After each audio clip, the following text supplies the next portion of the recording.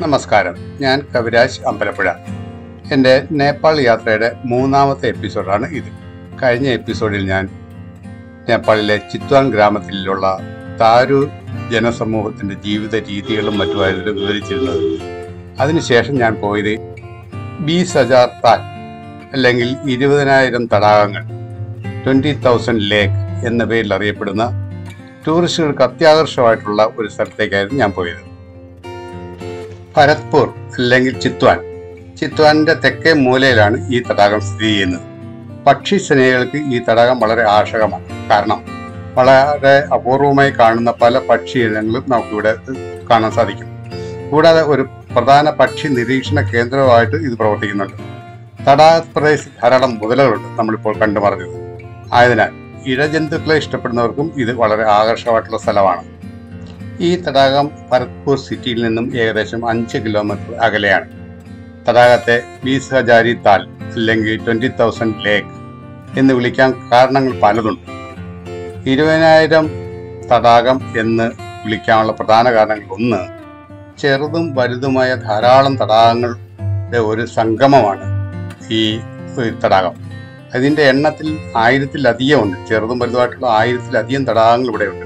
അത് മാത്രവുമല്ല ആകാശത്ത് നിന്ന് ഈ തടാകം കാണുമ്പോൾ തടാകത്തിന്റെ ആകൃതി ഇരുപതിനായിരം എന്ന സൂചിപ്പിക്കത്തക്ക രീതിയിലാണ് കാണുന്നത്. ഞാൻ നേരത്തെ സൂചിപ്പിച്ച പക്ഷികളുടെ കാര്യത്തിലോ മുതലകളുടെ കാര്യത്തിലോ ഒന്നും ആയിരുന്നില്ല എനിക്ക് കൂടുതൽ ശ്രദ്ധയും ആകർഷമായിട്ട് തോന്നിയത്. ഈ പ്രദേശത്തിന്റെ ഭംഗി ഈ ഭൂപ്രദേശത്തിന്റെ ഭംഗി പറഞ്ഞറിയിക്കാൻ പറ്റത്തില്ല. അതേ രീതിയിലാണ് നമ്മൾ നോക്കി നിന്നു പോകും ഈ തടാകത്തിന് അരികിൽ വന്ന് നിന്ന് കഴിഞ്ഞാൽ നമ്മളെല്ലാം മറക്കും എന്നുള്ള കാര്യം ഒരു സത്യം തന്നെയാണ്. നോക്ക് എത്ര ഭംഗിയായിട്ടാണ് ഇതെല്ലാം പ്രകൃതി ഒടുക്കി വെച്ചിരിക്കുന്നത്. ഞാൻ നേരത്തെ പറഞ്ഞ ആ മുതലക്കുട്ടൻ അവനിങ്ങനെ ഒഴുകി ഒഴുകി നടക്കുന്നു. ഞാൻ പല മുതലകളെ ഇതിനകത്ത് കണ്ടു കഴിഞ്ഞപ്പോൾ. ഇവിടെ വരുന്ന സഞ്ചാരികൾക്ക് അല്ലെങ്കിൽ വിനോദസഞ്ചാരികൾക്ക് മുകളിൽ കയറി നിന്ന് കൂടുതൽ കാറ്റ് കൊള്ളാനും ആസ്വദിക്കുവാനും വേണ്ടി നിർമ്മിച്ചിരിക്കുന്ന ഒരു ഏർമാടം എന്ന് പറയാൻ പറ്റത്തില്ല. എങ്കിലും പൂർണമായിട്ടും തടിയിൽ നിർമ്മിച്ച മൂന്ന് നിലകളുള്ള ഒരു വിശ്രമ കേന്ദ്രമാണ് ഈ കാണുന്നത്. ചിത്വാൻ ദേശീയ ഉദ്യാനത്തിനോട് അനുബന്ധിച്ചുള്ള ഈ തടാകത്തിന് നല്ല പരിസ്ഥിതി സംരക്ഷണമുണ്ട്. ചില വന്യമൃഗങ്ങൾ പ്രത്യേകിച്ച് മുതലകളും കാണ്ടാമൃഗങ്ങളും ഈ തടാകത്തിന് സമീപം കാണപ്പെടുന്നു. അനുയോജ്യമായ അന്തരീക്ഷം തേടി ഭൂമിയുടെ ഉത്തരധ്രുവത്തിൽ നിന്നും വ്യത്യസ്ത പക്ഷികൾ ഈ തടാകത്തിലേക്ക് കുടിയേറുന്നു. ശൈത്യകാലത്ത് ധ്രുവങ്ങളിൽ വളരെ തണുപ്പുള്ളതാണ്. ആ തണുപ്പിൽ നിന്ന് രക്ഷപ്പെടാൻ പക്ഷികൾ ഈ തടാകത്തിലേക്കാണ് കുടിയേറുന്നത് ഭരത്പൂരിൽ നിന്നോ സൗരാഹിൽ നിന്നോ ജീപ്പിലോ സൈക്ലിംഗ് വഴിയോ നമുക്ക് ഈ തടാകത്തിൽ എത്തിച്ചേരാവുന്നതേ ഉള്ളൂ ഇതിന്റെ പ്രവേശന കവാടത്തിൽ നമുക്ക് ഒരു എൻട്രി ഫീസ് അടക്കേണ്ടതായിട്ടുണ്ട് സൈക്കിളിൽ എത്തിയ ചില വിദേശികളെ നമുക്കൊന്ന് പരിചയപ്പെടാം You go walk. Shall you go walk? Here the army. Yeah. Good. Yeah. yeah. On the army? Yes. How many meter about? No, very close. Okay, we go to see him. Yeah, you talking here, bicycle go and no, you talking here. Okay. No, first. Azul. Ah, otherwise they won't allow, no? Okay. Oh.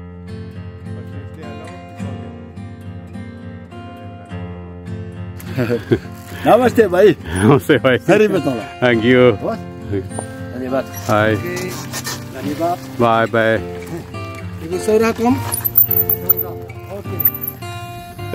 മൺകലം. മൺകലം ഭൂമിയിൽ കുഴിച്ചു വിട്ടിരിക്കുകയാണ്. ഇവിടുന്നാണ് കുടിവെള്ളം എടുത്ത് കുടിക്കുന്നത്. ഈ ലേക്ക് തടാകം കാണാൻ വരുന്ന ആൾക്കാർക്ക് വെള്ളം കുടിക്കാൻ വേണ്ടി ഒരുക്കിയിരിക്കുന്ന സ്ഥലമാണിത്. ഈ തടാകത്തിൽ നിന്നുള്ള ഞങ്ങളുടെ മടക്ക യാത്രയിൽ കുറെ വിദേശികൾ ഒന്നിച്ച് ഒരു ജീപ്പിൽ ഇതിനകത്ത് പര്യടനം നടത്തുന്നത് ഞങ്ങളുടെ ശ്രദ്ധയിൽപ്പെട്ടു. അവർ പക്ഷി നിരീക്ഷകരായിരുന്നു കൂടുതലും. നല്ല നല്ല ദൂരദർശിനിയുള്ള ക്യാമറകൾ ഉപയോഗിക്കുന്നുണ്ടായിരുന്നു. ഒരു കൂട്ടം മാനുകൾ ദൂരെ നിന്നുകൊണ്ട് മെയ്യുന്നത് അവർ വീഡിയോ പിടിക്കുന്നുണ്ടായിരുന്നു. ഒപ്പം എന്റെ ക്യാമറയും അങ്ങോട്ടേക്ക് ശ്രദ്ധ ചെലുത്തി. ഇത് സഞ്ജയ്. ഞാൻ താമസിക്കുന്ന ഹോം സ്റ്റേയുടെ ഓണർ.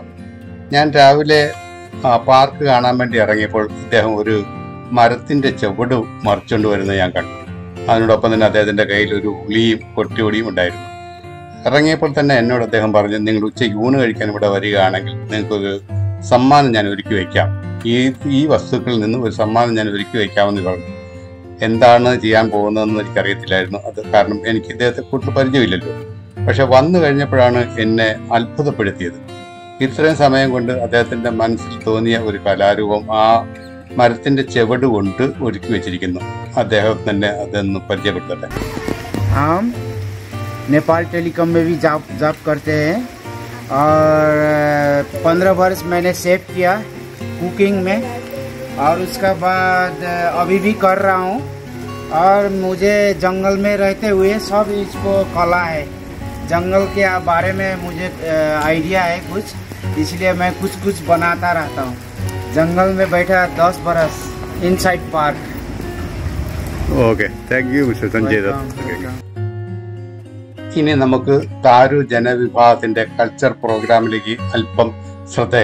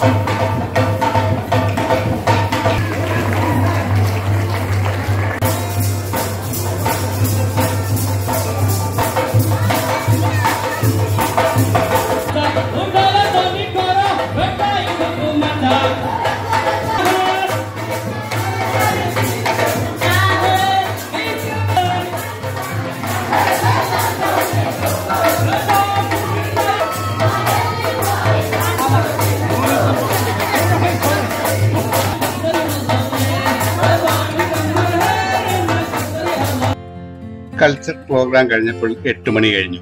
ഞാൻ എന്റെ താമസ സ്ഥലത്തേക്ക് പോകുന്ന വഴിയാണ് ഇത്. ചെറിയൊരു ഗ്രാമവും ചെറിയൊരു ജനസംഖ്യയുമാണ് ഇവിടെ ഉണ്ടായി ഉള്ളതെങ്കിലും രാത്രി എട്ട് മണിയായിട്ടും തെരുവുകൾ സജീവം തന്നെ. എന്റെ നേപ്പാൾ യാത്രയുടെ അടുത്ത ദിവസത്തെ വിശേഷങ്ങളുമായി അടുത്ത എപ്പിസോഡിൽ വരുന്നവരെ നിങ്ങൾക്കെല്ലാവർക്കും നല്ലത് വരട്ടെ നന്മ വരട്ടെ.